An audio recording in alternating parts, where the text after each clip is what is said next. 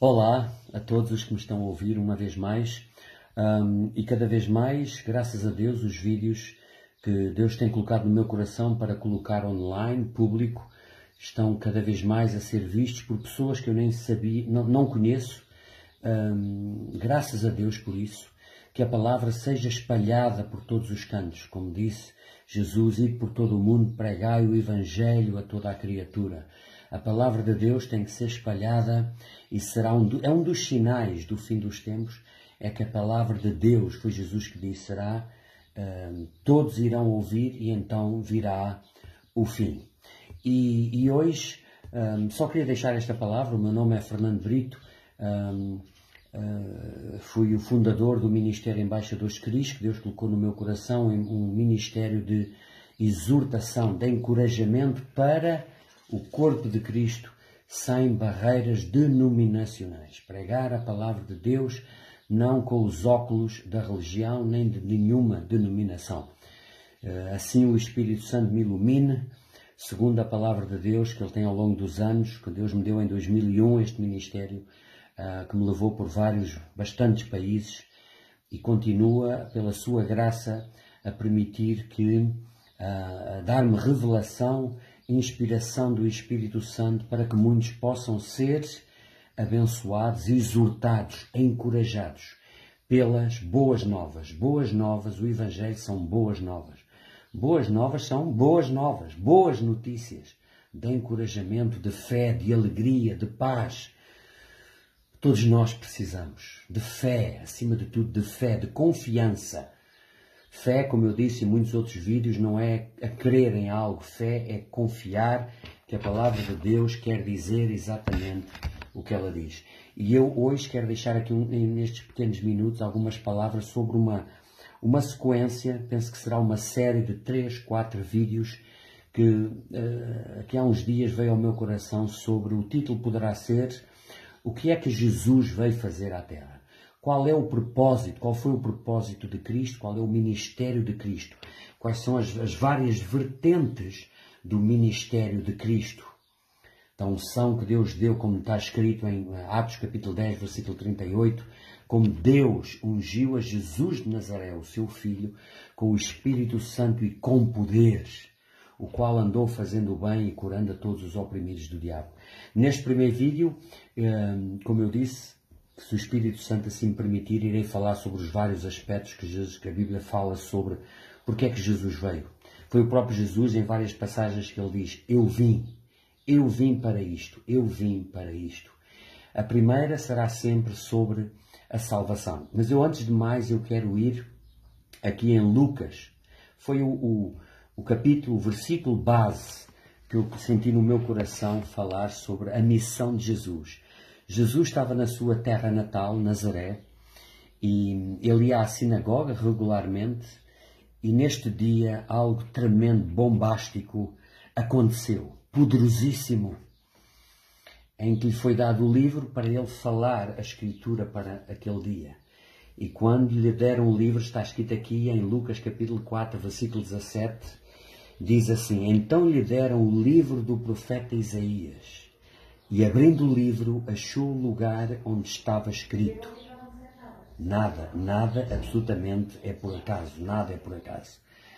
E diz assim: estava-se a referir a uma profecia do profeta Isaías, que está em Isaías capítulo 61, que diz assim: O Espírito do Senhor está sobre mim, pelo que me ungiu para evangelizar os pobres, enviou-me para proclamar libertação aos cativos restauração da vista aos cegos, para pôr em liberdade os oprimidos e apregoar o ano aceitável do Senhor. Aqui está registado o que estava escrito há 800 anos atrás, né? a profecia de Isaías, e neste momento Jesus abre o livro. E ele depois diz assim: tendo fechado o livro, devolveu ao assistente, sentou-se e todos na sinagoga tinham os olhos fitos nele. Então Jesus disse-lhes: Hoje se cumpriu a escritura que acabais de ouvir. Ele estava a falar a escritura acerca dele. E o que eu quero aqui salientar é o ministério dele. Ele começa por dizer: O Espírito do Senhor está sobre mim, o Espírito de Deus está sobre mim. Ele me ungiu para pregar, para evangelizar os pobres, para trazer a palavra da salvação. E é aqui que eu me quero focar neste pequeno vídeo que eu quero fazer, que eu vou separar os vídeos sobre os vários aspectos. Portanto, ele veio para evangelizar, para proclamar a palavra de Deus, para pôr em liberdade os oprimidos, para libertar os cativos, para dar vista aos cegos. Aqui temos a falar do ministério, quatro partes do ministério de Jesus: trazer a palavra da salvação, libertar os cativos, pôr em liberdade os oprimidos e dar vista aos cegos, cura física.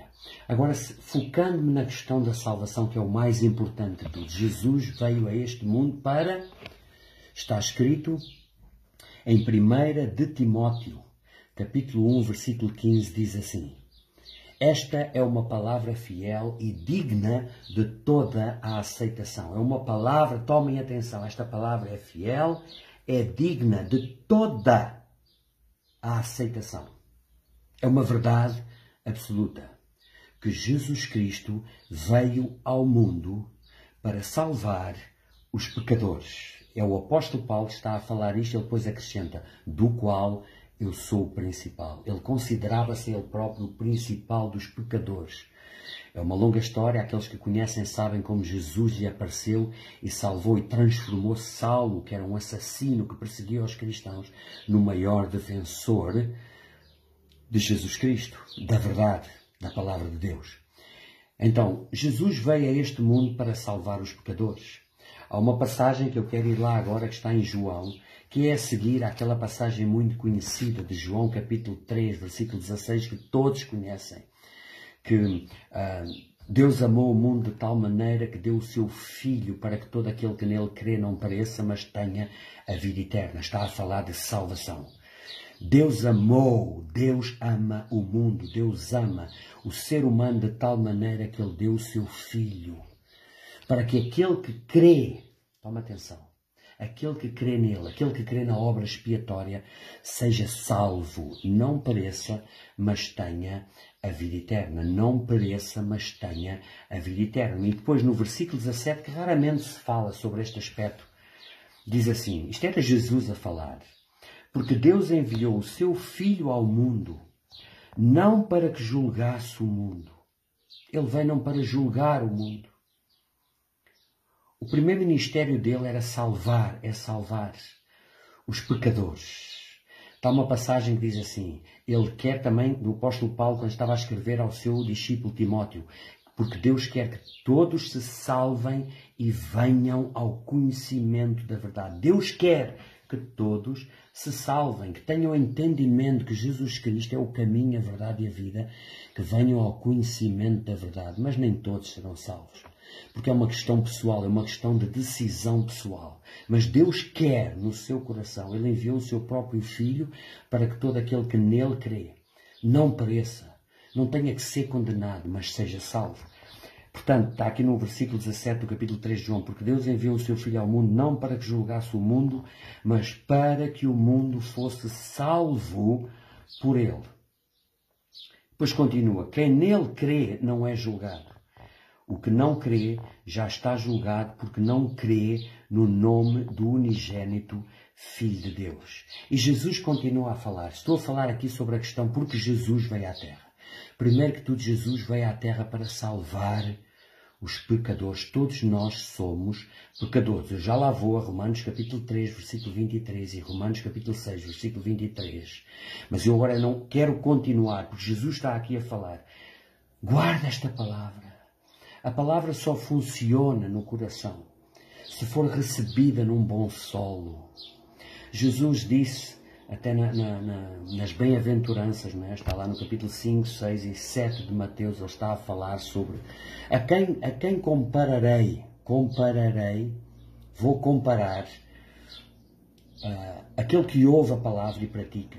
Aquele que ouve e pratica é semelhante àquele que ouvindo é aquele que ouve e pratica é semelhante àquele homem que constrói uma casa sobre a rocha. Aquele que ouve e pratica. Muitos ouvem, mas poucos praticam. Jesus disse assim também nas bem-aventuranças que uh, larga é a porta, largo é o caminho que conduz à perdição e são muitos os que o encontram. Mas apertado, estreita é a porta, estreito é o caminho, apertado é o caminho, apertada é a porta que conduz à salvação. Estamos a falar de salvação. Jesus veio a este mundo para salvar os pecadores. São poucos o que a encontram. Isto são palavras de Jesus. São muito poucos. Ouvindo, muitos são que ouvem. Como Jesus disse, aquele que ouve e pratica. Eu comparo àquele homem prudente, sábio, que edificou, construiu a sua casa sobre a rocha. E vieram os ventos, e vieram as tempestades, as tormentas sobre aquela casa. E aquela casa ficou firme porque estava construída sobre a rocha. A rocha é a palavra de Deus daqueles que praticam, que põem em prática. E depois Jesus diz assim: E a quem compararei aquele homem que ouve e não pratica? Há bilhões, há milhões e milhões de pessoas que vão à igreja e ouvem, e ouvem, e ouvem, e ouvem, mas não praticam. São semelhantes àquele homem, Jesus disse, que constrói a casa sobre a areia. O fundamento não é rocha, é a areia. Aparentemente a casa é igual à outra, à daquele que construiu a casa sobre a rocha. Mas neste caso a casa foi construída sobre a areia, sobre um fundamento falso. São aqueles que ouvem a palavra, são religiosos, ouvem os sermões, vão à missa, vão aos cultos, ouvem e ouvem e ouvem, mas não mudam são semelhantes ao homem que construiu a casa sobre a areia, vendo os ventos, vindo as tempestades, vindo as tormentas, aquela casa caiu e foi grande aquela casa, aquela queda, porque estava edificada sobre um fundamento falso de ouvir. O apóstolo Tiago, já falei isto também noutros vídeos, o apóstolo Tiago, que é irmão carnal de Jesus, na epístola eh, eh, que ele escreve, na epístola Tiago, ele diz: Ser praticantes e não somente ouvintes enganando-vos a vós mesmos com falsos discursos. Aquele que ouve e não pratica é semelhante àquele que se olha num espelho para depois, ao se ir embora, logo se esquecer de como era a aparência. E quero aqui terminar este vídeo, quer que seja curto, sobre a questão porque Jesus veio à Terra. Ele veio para salvar os pecadores. Está escrito também, em, estou aqui também perto de uh, Lucas capítulo 19. Lucas capítulo 19, versículo 9, diz assim, Jesus disse assim, Ele veio salvar. É, é uma frase muito curta, mas eu quero ler. Diz assim, diz assim. 19, versículo 9 e 10 diz assim. Jesus estava a falar e disse, Hoje houve salvação nesta casa, pois que também este é filho de Abraão. Esta é a história que vai desde o capítulo 19, versículo 1 ao versículo 10. Quando, eu vou ler só um pouco, eu não estava planeado ler isto, mas como Jesus veio para salvar a humanidade. Não veio para salvar os judeus só. Ele não veio para salvar qualquer tipo de outro. É para salvar a humanidade. E, e, e ele entrando em Jericó, atravessava Jesus a cidade, eis que um homem chamado Zaqueu, maioral dos publicanos e rico, ele era odiado pelo, pelo, pelos. Procurava ver quem era Jesus, mas não podia por causa da multidão, por ser ele de pequena estatura. Então, correndo adiante, subiu a uma árvore, a fim de vê-lo, porque por ali queria vê-lo passar. Quando Jesus chegou àquele lugar, olhando para cima, disse: Zaqueu, desce depressa, pois me convém ficar hoje em tua casa. Continua, toma atenção. Ele desceu a toda a pressa e recebeu com alegria. Todos os que viram isso murmuravam, dizendo que ele se hospedava com um pecador. As pessoas que viram isso, porque ele era odiado, porque ele era um cobrador de impostos, e começaram a criticar Jesus. Mas Jesus estava a olhar para o coração. As multidões estavam a olhar, ah, ele é pecador. Como é que Jesus pode ir jantar e ficar na casa de um pecador? Jesus veio ao mundo para salvar os pecadores. Há uma outra passagem que eu nem tinha escrito aqui que diz assim: estavam também a criticar-lo e ele disse: Eu não vim salvar uh, curar os sãos. Os sãos não precisam de médico. Eu vim para os que estão doentes. E este doentes, entre aspas, significa tanta coisa, a começar pelo pecado na alma do ser humano, que é a maior doença. O maior milagre que todos nós precisamos, ouça, não é de cura física, é da cura da alma, é da salvação da nossa alma. A entrega a Cristo o perdão dos nossos pecados, a certeza da salvação. Todos os que o viram murmuravam, dizendo que ele se hospedara com um homem pecador. Entretanto, Zaqueu se levantou e disse ao Senhor: Ele sentiu-se som tocado. Ouça, ouça, ouça, este amor de Jesus. Eu estou a olhar que já vou em 15 minutos. Este amor de Jesus tocou o coração. Ele sentiu-se constrangido. Ele sabia que era pecador. Ele andava a roubar as pessoas, os impostos. E ele diz assim: Senhor, eu resolvo dar aos pobres metade dos meus bens. E se em alguma coisa tenho defraudado alguém, eu restituo quatro vezes mais. Oh, glória a Deus! Então Jesus lhe disse: Hoje houve salvação nesta casa. Hoje houve salvação nesta casa. Alguém se arrependeu. Pois também este é filho de Abraão, porque o filho do homem veio buscar e salvar o perdido. Lucas capítulo 19, versículo 10. Porque o filho do homem veio buscar e salvar o perdido. Jesus veio a este mundo para salvar os pecadores, do qual nós somos o principal, como Paulo disse. Que nós reconheçamos a nossa miséria nós precisamos, acima de tudo, ouça, de todo o meu coração estou a dizer isto. O sofrimento está em tantas pessoas que vão ouvir, talvez centenas. O último meu vídeo teve mais de 1100 visualizações. Não importa isso. Receba no seu coração, se ainda não recebeu Jesus Cristo no seu coração e esteja doente, receba a primeira salvação, como aqui. Houve salvação nesta casa. Jesus veio buscar aquele que se havia perdido. Entregue a sua vida a Cristo. Confesse Jesus como Senhor e Salvador. Reconheça que Jesus pagou o preço pelos pecados. E a partir daí começa um trabalho tremendo do Espírito Santo na sua alma, no seu corpo e também receberá a cura física e da sua alma. Porque como eu comecei a ler em Lucas capítulo 4, versículo 18 em frente, Jesus quando abriu o livro estava a falar dele próprio, o que o profeta Isaías tinha falado 800 anos atrás. Eis que Deus me ungiu, ele foi ungido para pregar o Evangelho, para libertar os cativos, para pôr em liberdade os oprimidos, para curar os cegos, para apregoar o ano aceitável do Senhor, o ano da liberdade. E para terminar, quero ir a Romanos capítulo 3. Quero terminar com esta passagem sobre a questão da salvação, porque os outros vídeos eu vou falar sobre, porque Jesus veio à Terra, eu vou falar sobre libertar os cativos, sobre o ministério de libertação, sobre o ministério da nossa alma, de libertação da nossa alma, da cura da alma e da cura física. Agora quero terminar Romanos capítulo 3, versículo 23, que diz assim, ouça, isto é muito importante. Todos pecaram, está escrito, está escrito, ninguém é melhor que ninguém. Nós somos por natureza pecadores. Alguém me diz assim: o que é que é necessário alguém fazer para ficar afastado de Deus na eternidade? Não precisa fazer nada. O que é que alguém precisa fazer para não viver para sempre com Deus? Nada. Nós já estamos perdidos. Nós nascemos em pecado por causa do pecado original.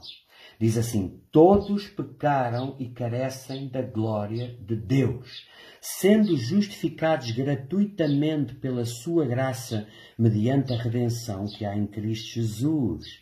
Todos pecaram, ninguém merece a salvação. Nascemos em pecado. Todos pecaram. Sendo justificados gratuitamente por sua graça, mediante a redenção que há em Cristo Jesus. Salvação, Jesus veio a esta terra para nos justificar pelo seu sangue, para nos santificar. Somos santos nele, pelo sangue de Cristo. Os homens não podem fazer pessoas santas. Nós somos santificados em Cristo, eu já falei isto várias vezes. E agora, para terminar, Romanos capítulo 6, versículo também 23, diz assim. Isto é o apóstolo Paulo a escrever a carta aos Romanos. Tremenda esta epístola.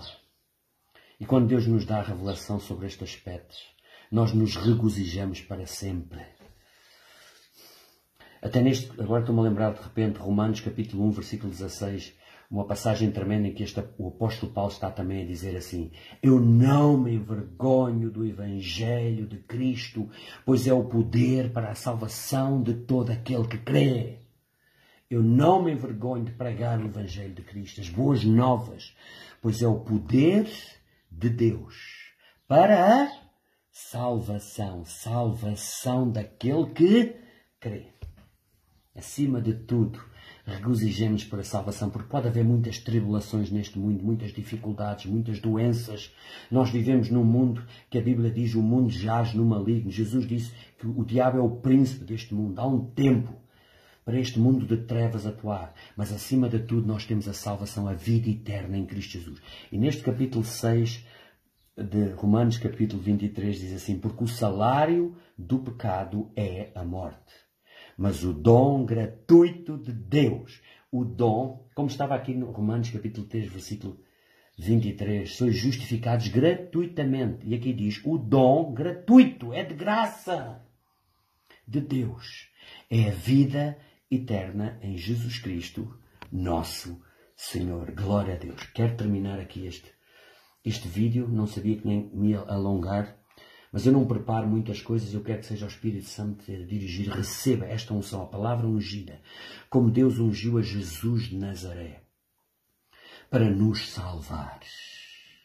Receba o dom gratuito da salvação, confesse com a sua boca e creia no seu coração que Deus ressuscitou Jesus dos mortos e serás salvo. Deus vos abençoe gratuitamente, fica à sua disposição sempre. Aqueles que me vão ouvir, que já me conhecem, que são muitos, que têm ouvido e ouvido e têm publicado, obrigado, não por mim, mas porque é Deus que está a tocar o seu coração para que não só você seja abençoado, mas todos os seus amigos de Facebook, Instagram e YouTube possam também ouvir. Porque a palavra de Deus diz que no fim dos tempos, quando o Evangelho for pregado por toda a criatura, virá o fim. Receba esta palavra em nome de Jesus. Deus os abençoe. Até ao próximo vídeo, que será dentro desta linha o que é que Jesus veio fazer à Terra. Amém.